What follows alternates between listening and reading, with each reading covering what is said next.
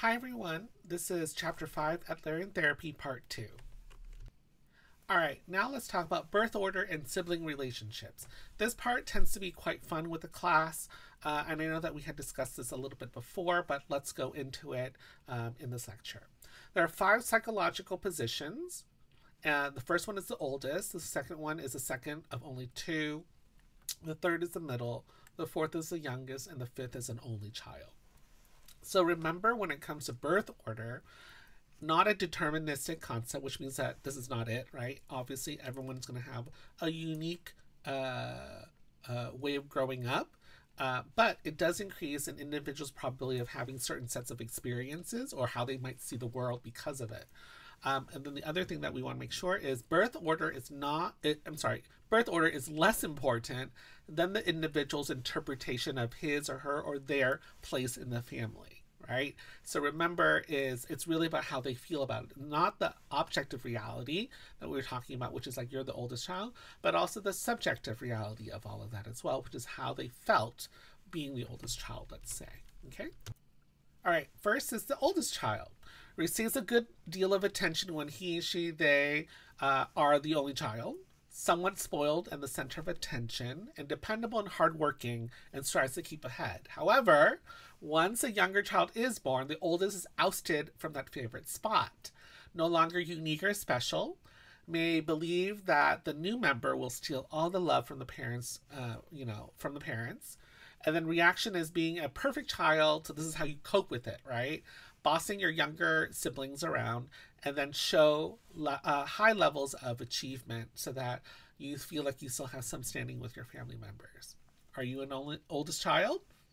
Is it similar to how uh, you felt?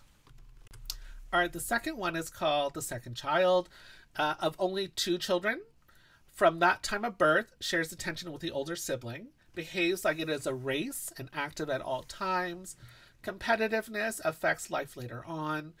Finds out weak spots in older siblings and then excels at those parts to win the love of the parents, and then seen as the opposite of the firstborn. So were you the second child, and do you agree with this? The third one is the middle child, so that often feels squeezed out, uh, feels that life is unfair and that they have been cheated. Some can become the problem child, while other middle children may actually become the peacemaker who holds the family together. Uh, in a family of four siblings, the second child may feel like the middle child. Okay, so uh, are you the middle child, do you identify with some of this? the youngest child, baby of the family, and tends to be the most pampered, may develop helplessness and figure out how to get other people to do his or her or their work. Tends to go on their own way and then may outshine everyone else because of it. So, were you the youngest child? Now, are you the only child? Shares high achievement with an older child. So, remember that list of uh, descriptions for the older child? It's saying that the only child shares very similar uh, similar experiences there, but may not learn how to share or cooperate with other children, knows how to deal with adults really well, pampered by parents, and may become dependently tied to them, uh, one of them or both of them, may want to uh, be center stage at all times, and may feel like others are trying to take his or her or their place. Okay, uh, so one of the things I wanted to point out for this one is knows how to deal with adults well, and that's probably because they don't have any other siblings to talk to. So more often than the other, uh, and then you know than than the other ones, um, they'll probably have to talk to adults all the time, which is why they might know how to deal with adults uh, much more than the other ones. So before we finish this section right here, I also want to mention that Adler also, during Freudian time, so that's a really long time ago, so there were not as many divorces back then. There were not a lot of, as many, I believe, blended families. Blended families is, let's say, uh, parents who are divorced, right? And then they marry other people who also have children already. So you, as one parent, might have two kids or three kids, and then the person that you marry might have two or three kids as well. So now it's a family that's blended together. And those are things that will change how these uh, relationships are, right? So remember, you know, this is kind of good to understand if you're trying to uh, understand your client, to talk about their experiences. But also, you have to remember that this was created at a time uh, where the things that are happening in today's world did not happen back then, right?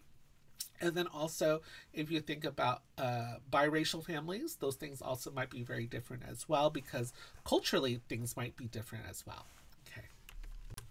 All right, let's talk about the therapeutic goals when it comes to Adlerian therapy.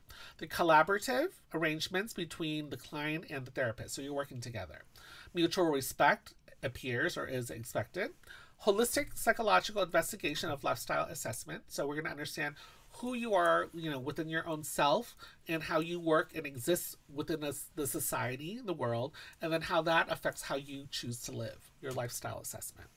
All right, disclosing mistaken per, uh, mistaken goals and faulty assumptions with this person's style of living. So maybe the way that they were raised, there were maybe some things that were not so healthy for them or incorrect or something like that. Let's say abuse or something like that, or you know, a lot of yelling and screaming and, and being mean to each other. So if that happens, we might want to bring those things up and talk about potentially uh, adjusting those lifestyle assess uh, lifestyle behaviors basically so re-education of the client towards the useful side of life the main aim here then is to develop the child's sense of belonging and to adopt behaviors of community feeling and then social interest as well. So if you do not know about the world, and maybe you don't because you were trying to just survive, you know, because it was a kind of a, uh, let's say, terrible childhood or a difficult childhood, but we start to learn as we grow older what we can do to help each other as well as ourselves.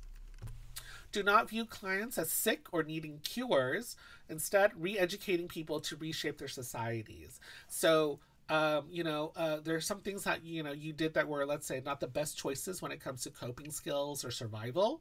So we want to have you learn how to uh, see which what is what are better, healthier choices for you. Let's say, right, and then from there, then we can also help shape society into a healthier one as well. You want to provide information, teaching, guiding, and offering encouragement. So you're very much like a cheerleader to discourage uh, to these these clients who feel very discouraged, right? They're feeling not so great, so you want to become a cheerleader for those people. Encouragement is considered the most powerful method for change. So encouragement is, you know, we believe that you can do it, and you hopefully authentically believe that they can actually do it as well, because that will help build self confidence and courage for your client. Courage is defined as willingness to act even when fearful. So, one of the things I also want to say is that when you have clients coming in, usually clients are really scared. Okay. It is really scared to be vulnerable, and it's also very scared to be to change basically because you don't know what's going to happen potentially. So to let them know that you recognize that you see courage in them will be hopefully very very you know uh, uh, fantastic for them and encouraging of them, right?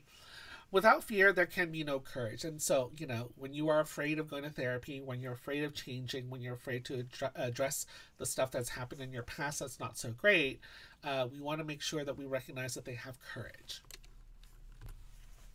Adlerians provide alternative perspectives, but it is up to the client to accept them. Okay, so you're going to offer all these different ways of seeing the world and hopefully your clients will then go from there right? And go okay i get this. I didn't realize it that this existed before but you know now i see it. And then you're hoping that they're actually going to then start to go towards that right?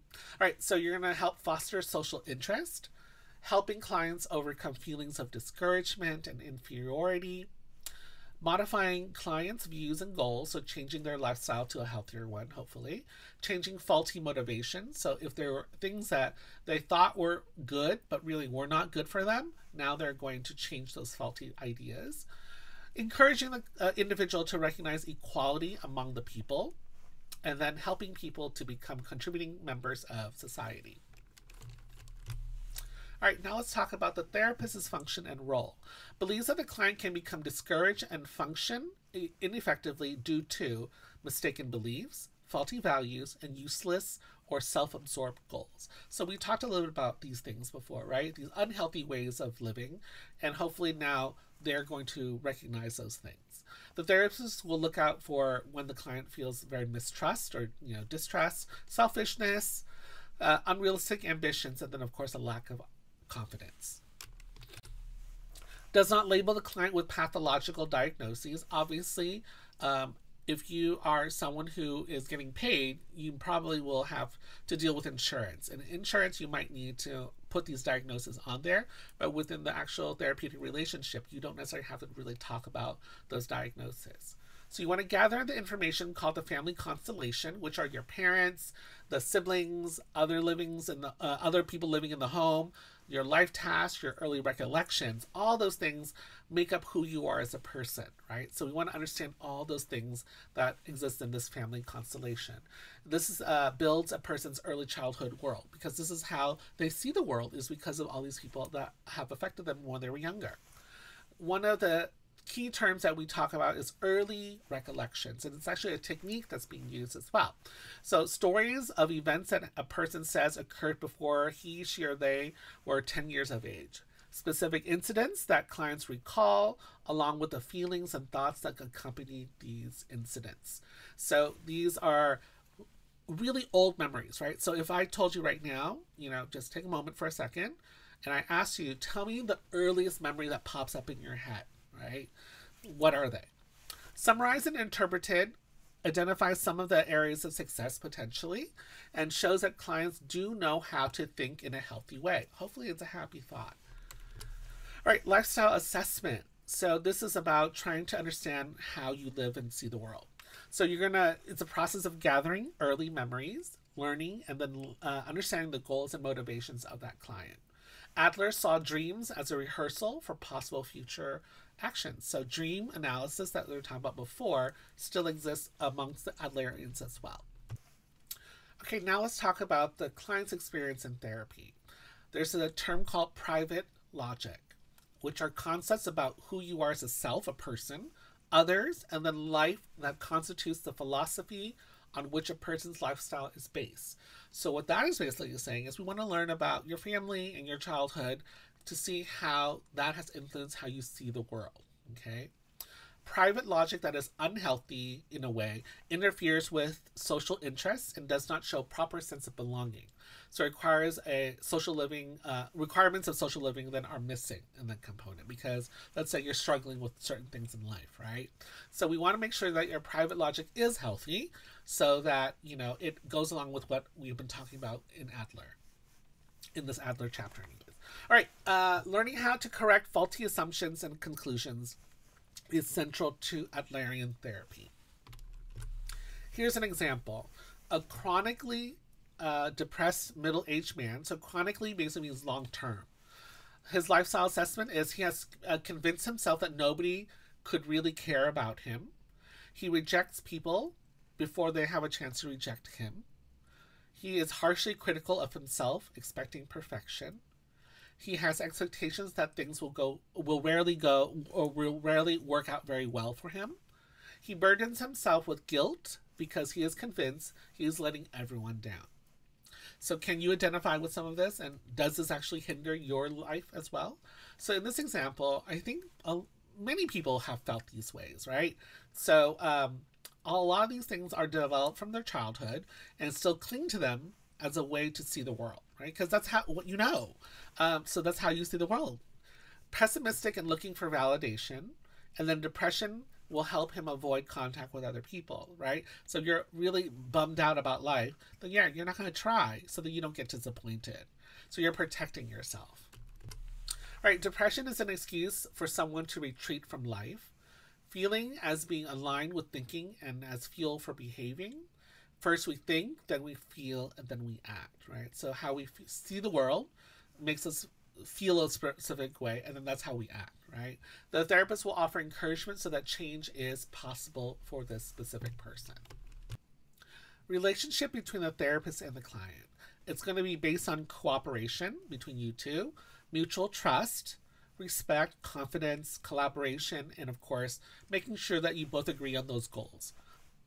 Okay, the counselor's modeling of communication and acting in good faith. So, one of the first things as a counselor is that you need to realize that your client is looking at you to see how you behave, right? How you talk, because they might want to uh, see see that as you know a, a healthy way to do it, right? And so you want to make sure that you're aware of that. Contract should be signed at the beginning. So the contract is basically you know the informed consent, and also let's say deciding what you want to work on in therapy. You want to do all that, establish all that at the beginning. So, uh, and then in the contract, you can talk about what they want, how they plan to get where they are heading. So, exactly what are they going to do to get to these goals that they have? What is preventing them from successfully attaining their goals? How can they change non productive behavior into constructive behavior? and how they can make a full sense a full use of their assets in achieving their purposes. So now that they're learning all these things, how are they going to apply it? And then in the future, if it happens again in another way or something very similar, how are they going to react? How are they going to solve these problems? Let's say after uh, the relationship with you in counseling is over.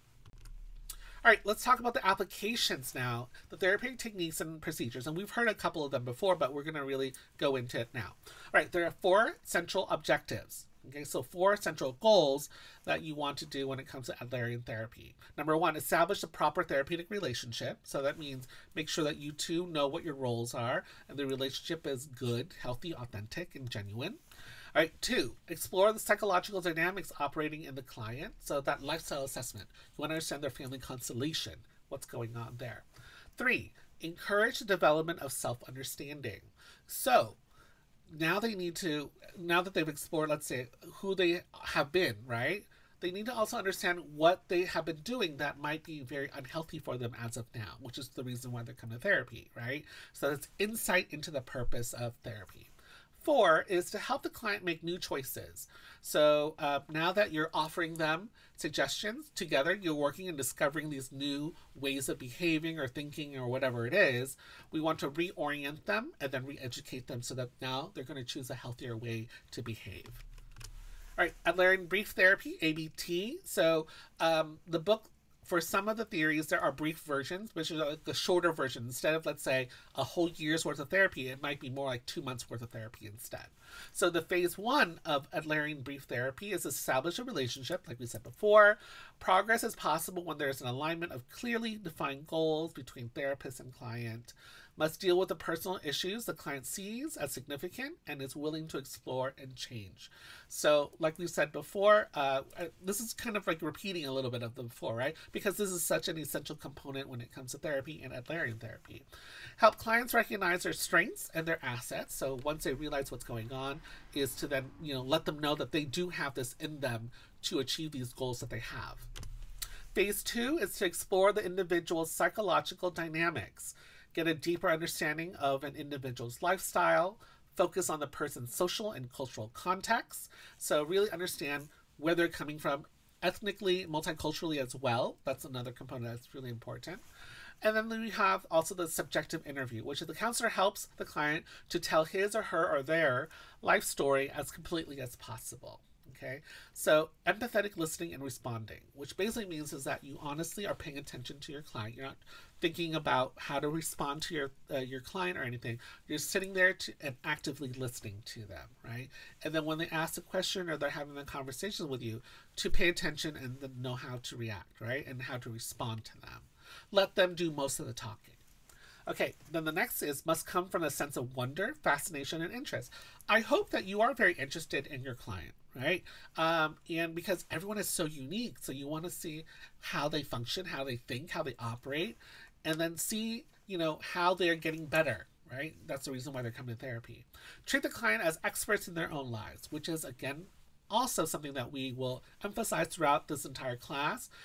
Each of your clients knows themselves the best. You do not know them as well as they know themselves, right? They might not necessarily be willing to address or, you know, and say that, but they really do know who they are as people and so you have to respect that and then also um, uh, let them lead the way when it comes to talking about who they are as a person the objective interview discovers information about how the problems in the client's life began this is more of like you know what is what is seen and and you know not necessarily arguable because this is legitimately what happened. This is very objective, right? Things that you can see and you can't really argue with. Let's say if there was abuse in the family and we all know it, then that's you know that you can't say, oh well, that's personal. You might not be abused. No, you were probably abused if that's what people have recorded or you know this is what has been seen. All right. Any precipitating events. So you want to know about anything that might be happening around that person that might have caused certain things to go a certain way their medical history, current and then also their past medication, their social history, reasons uh, the client chose therapy at this time, person coping with life tasks, and lifestyle assessment. So, this is also kind of known as like an intake, right? Uh, background history of the client so that they can understand who they are as a person. And of course, investigate the family constellation and early childhood history that we have been talking about before. Okay. It is interpretations people develop about themselves, others in the world, and life that governs what they do. So, this is again repeating what we said before, which is how you were raised up until today, how you have seen the world, uh, was because of how you were raised and the community that you were in. So, we want to make sure that we understand what's going on. We want to focus on the holistic narrative, which makes sense of a way that the person copes with life tasks, and to uncover the private logic involved in coping. So we want to basically understand who they are as a person so that we know how or why they're reacting the way that they are reacting because maybe that's the only way that they know how to react to stressors, right? Is to ignore things or to avoid things or whatever it is. Here's an example. Jenny has lived most of her life in a critical environment. Now she believes that she must be perfect to avoid even the appearance of failure. So maybe something like this is her parents might have been very picky about you know, how to be successful, and maybe she was having a hard time. And so, because of that, she doesn't even want to try because if she tries and she fails, she feels really bad about herself. You know how other family members might encourage a child who failed to try again, and then maybe they'll succeed? Sometimes it gets too out of control, or, or the child believes it's too stressful, and then now they're going to just avoid it all so that, you know, instead of, you know, disappointing and feeling really bad about themselves as a failure, um, they're not even going to try, and then, you know, that's it.